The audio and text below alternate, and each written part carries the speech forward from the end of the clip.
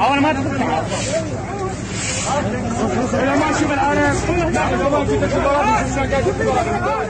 منذ بداية أزمة فيروس كورونا وارتفاع أعداد الإصابات بالفيروس في العراق انطلق جرس إنذار نفاذ الأكسجين معلنا عدم قدرته على تأمين متطلبات المرحلة التي تمر بها البلاد.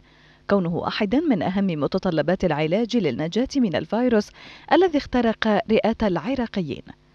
أعداد الإصابات المتزايدة بشكل سريع مع قلة الأكسجين في المستشفيات التي لم تكن على القدر المطلوب من الجاهزية لمواجهة هذه الجائحة.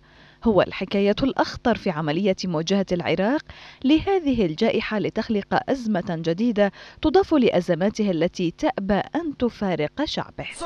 المنظومة خلصت.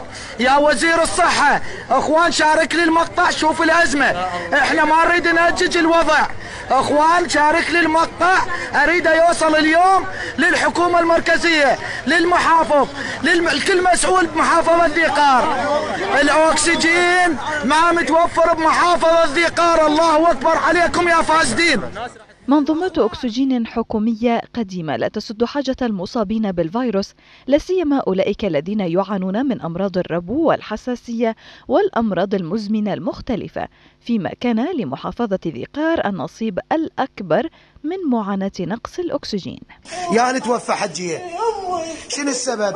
الأكسجين الأكسجين يقول له روح دوري ادور؟ وهي وين؟ يقول لها مشكلتك. بالانعاش هنا يقول لها مشكلتك. روح دور اكسجين من ما كان يعني سبب الوفاة الأكسجين؟ الاكسجين أنت شو تصير لها؟ أنا والدتي تصير. والدتك أمي زين من قلت لها ماكو أكسجين؟ إيش قال لك؟ يقول مشكلتكم. روح دوروا مشكلتكم واشترينا على حسابنا بس خلص شو؟ وعلى الرغم من توجيه رئيس مجلس الوزراء مصطفى الكاظمي وزارة الصناعة والمعادن بتشغيل جميع الخطوط الإنتاجية الخاصة بإنتاج الأكسجين وإضافة خطوط إنتاجية جديدة تدعم المستشفيات وملاحقة الفاسدين والمتاجرين الذين يعرقلون إنتاج مادة الأكسجين ووصولها إلى المستشفيات.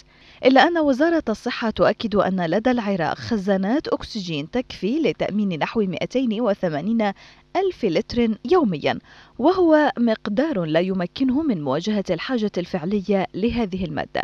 العراق كدولة أو كشعب يمكنه أن يصدر الأكسجين إلى دول العالم بعد تأمين احتياجات مواطنيه إلا أن الفساد والجشع والأيادي الخفية خلقت من الأكسجين أزمة خانقة بدلا من كونه طوق النجاة للمواطنين الذين لم يروا حتى الآن سوى كلمات سنقوم سنعمل سنشكل.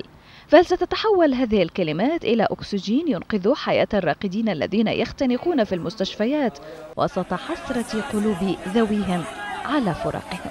يعني نشوف هاي العالم جاي جاي تموت من وراء الأكسجين اللي هو العلاج الوحيد العلاج الوحيد لل- لل- للمرضى مرضى كورونا.